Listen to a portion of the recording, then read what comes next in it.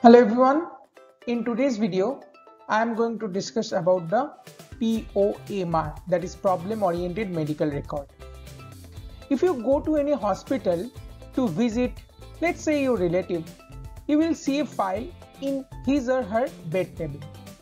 Now that file contains all the medical record of the patient.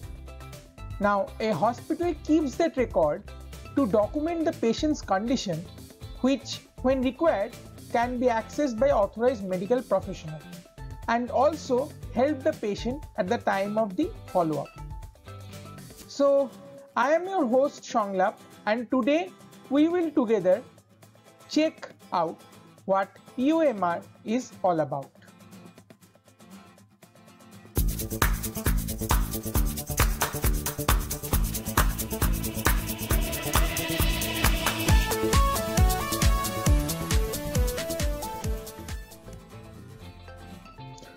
Okay, let's see some introductory points. POMR was basically defined by Lawrence Weed and it is the official method of record keeping in most of the medical centers across the world. So, that is subjective objective assessment and plan of care originates from this POMR. Right? POMR is an organized process of clinical decision making that allows the therapist to systematically plan an effective treatment. Right? So, keeping a record is very important. Now we will see what are the steps of POMR. The first is the examination of patient. Then comes your evaluation. Then the diagnosis part. Then the prognosis, plan of care, interventions, goals and predicted outcomes and lastly re-examination. We will discuss these steps one by one. Okay, the first point is the examination of the patient. Now it consists of history taking, systems review and test and measurements. Now let's talk about history taking. It will provide you valuable information about the disorder and its present state from which you can decide what will be the prognosis and what will be the treatment right you need to carefully listen to the patient while you are taking the history and only ask question related to the problem what is the importance of this history taking right it ensures a good rapport and communication between the patient and the therapist it will help you to determine the type of person, the patient, his or her language, cognitive ability, ability to articulate, his behavior, injury, a lot of things, right? And most importantly, his or her past medical history, which will give you an idea about the current condition, why the patient is facing that. It may be due to the past medical history. So you need to take history very carefully. Now, from history, examiner can find out any potential red flag signs and symptoms that can help the therapist to find out if any problem is musculoskeletal or a more serious problem that is a chemical, right? So, as an example, we can say a persistent constant pain at night with unusual growth and unwanted fatigue with weight loss may be a sign of cancer, right? Yellow flag what is this yellow flag? Yellow flag signs are important as it denotes more severe problem and may involve more than one area, right? So what will be the content here? I have already made a video on the assessment format via SOAP protocol. So I will really recommend you guys to please go and check that video, right? Click on the I button to see that video Now in the content here you can see you need to mention the age sex occupation chief complaint mechanism of injury onset of problem symptoms that bothering the patients then the location of the pain or other symptoms at the time of onset of problem movements that causing the pain or aggravating the pain, duration and frequency of the symptoms, the pre-medical history with the then assessment. Then comes your part 2 that is the review of systems. It is a technique for eliciting a medical history from a patient. It covers the organ systems with a focus upon the subjective symptoms perceived by the patient. Then comes your tests and measures. Superficial tests are performed by the therapist to identify and diagnose the problem. As an example, you can say drawer test is done for suspected rupture of cruciate ligament of knee. Okay, now it's time for evaluation, right? So whatever data you have gathered from the initial examination must then be organized and analyzed, right? Impairments, activity limitations and participation must be analyzed to identify the causal relationships.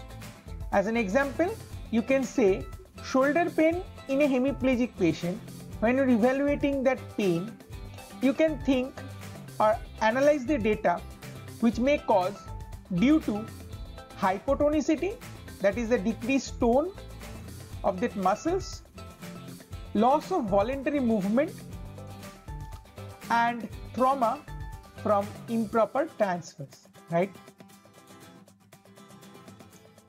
Okay, now it's time for diagnosis, right? Uh, medical diagnosis refers to the identification of the disease by evaluating presenting signs, symptoms, history, laboratory test results and procedures. So basically what you have done previously, now you have to take a decision and properly identify the disease by all of the things you have in your hand and a proper diagnosis is very important. Now, prognosis. Prognosis of the diagnosis. The term prognosis refers to the predicted, important, predicted. You can predict, but you cannot be sure of that outcome, right? So, predicted optimal level of the improvement in function and amount of time needed to reach that level. Now, let's see an example of that prognosis part, right? Suppose a traumatic brain injury patient, what will be the prognosis, right? So it will be determined only at various increments during the course of your rehabilitation. Correct? Okay, now the plan of care.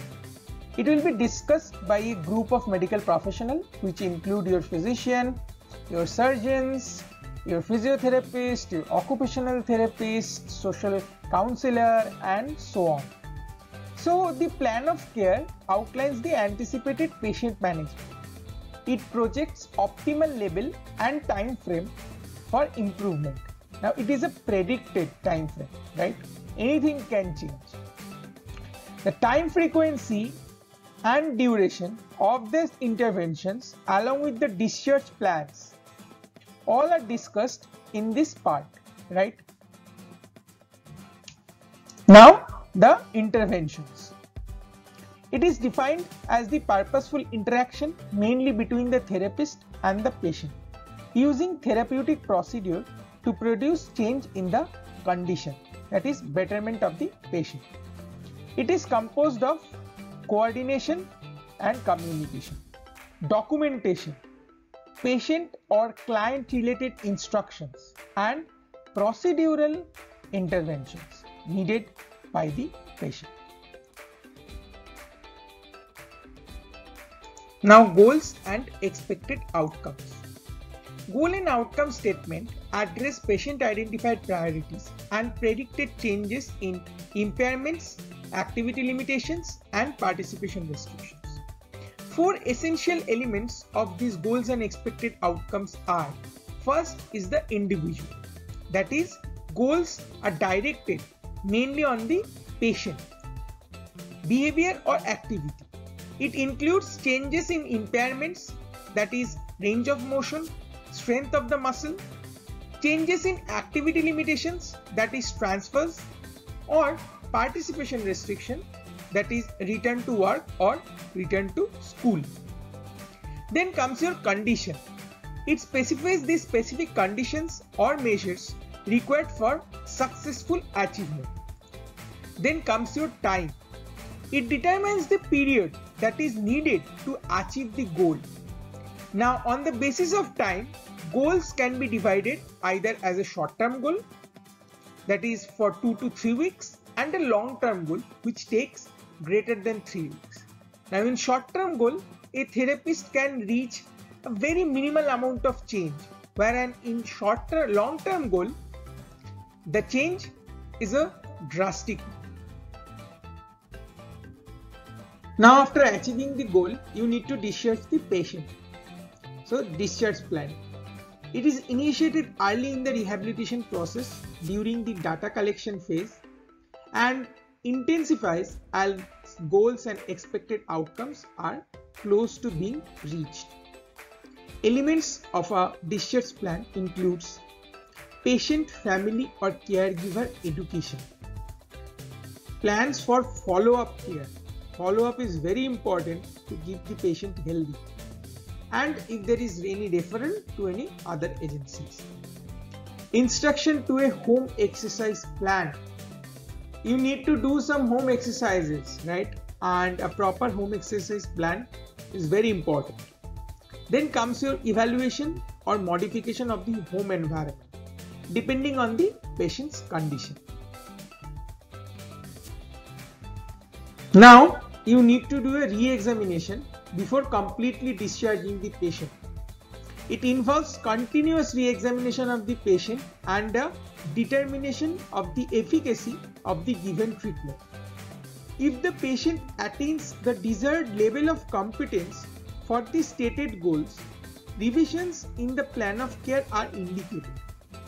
Discharge will be considered then. Now let's see a flow chart what we have learned here. Right. So first is the examination and after examining the patient if you think this is not your area of expertise you refer the patient to an expert of that area. Then you need to do a evaluation, a proper evaluation. Again in evaluation if you think the patient needs a referral then you will do that. Then comes your diagnosis part. Then prognosis and plan of care. After that, intervention. Now, in intervention, if you think some intervention you cannot give to the patient, you refer again to a specialist and then the outcomes. Now, in all of the cases from evaluation to the outcome, you need to do a re-examination after a certain period of time. So this concludes our POMR that is problem oriented medical record. Now if you have noticed or checked the video from the first you might have noticed that I in some places focused on the physiotherapy aspects of the POM. So when you are writing this question in your paper you need to focus right also in the physiotherapy aspect so i have made this note according to that okay so thank you for watching the video till the end. Please like share and subscribe to my channel and also press the bell icon. You can also join my telegram channel to get all the notes and book pdfs so do that too. See you in the next video